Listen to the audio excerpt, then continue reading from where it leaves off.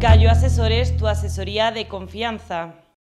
Las camisetas y fenómenos. Días y días de ruedas de prensa, compadecencias y buenas y malas noticias han convertido a Fernando Simón en uno de los personajes públicos más conocidos del momento. Una figura que transmite profesionalidad, sencillez y humildad y que ha inspirado a cientos de diseñadores, caricaturas, memes y dibujos sobre su persona.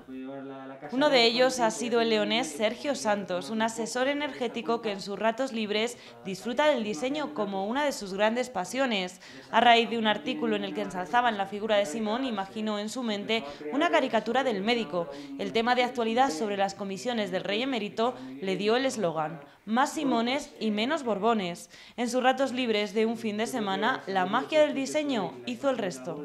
Ya tienes la idea en la cabeza, la vas montando y a partir de ahí pues eh, si te cuadra con lo que tenías en la cabeza y lo que estás viendo y lo que te entra por los ojos, pues perfecto, sigues, sigues ahí. Pero hay veces que no surge así, hay, hay veces que, que no que lo que tienes en la cabeza de repente lo ves plasmado y no te gusta absolutamente nada. No era la primera caricatura de Simón que realizaba Sergio, ya que la cuarentena y el tema de la crisis sanitaria de la COVID-19 han dado para mucho en su ordenador, pero decidió plasmar su diseño en bolsas de la compra y en las redes sociales hicieron el resto. Y sobre todo desde el fin de semana pasado he notado pues, un incremento brutal de, de los pedidos. Eh, pues mm, yo creo que se ha movido por Twitter por ahí la imagen de la bolsa, etcétera. Alguna cuenta que igual tiene pues más repercusión de lo habitual la ha compartido llega mucha más gente y a raíz de ahí pues se ha, empezado a notar. Fue esta semana cuando en rueda de prensa preguntaron a Fernando Simón qué le parecía su popularidad en redes sociales y el merchandising que se estaba empezando a vender con su imagen.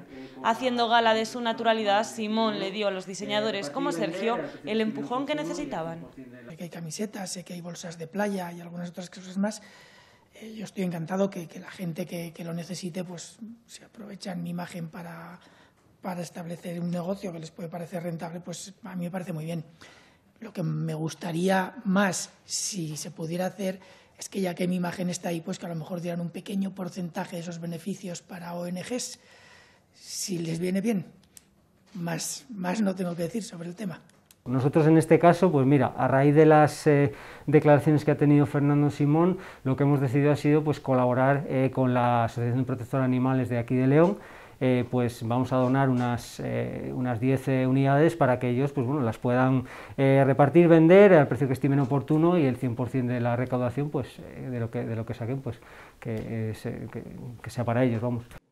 La tostadora, la plataforma online a través de la cual ahora también vende camisetas, ha tomado la decisión de donar dos euros por cada prenda vendida con la imagen de Simón y destinarlos, en este caso, a la iniciativa Yo me corono, para la investigación y la lucha contra la pandemia.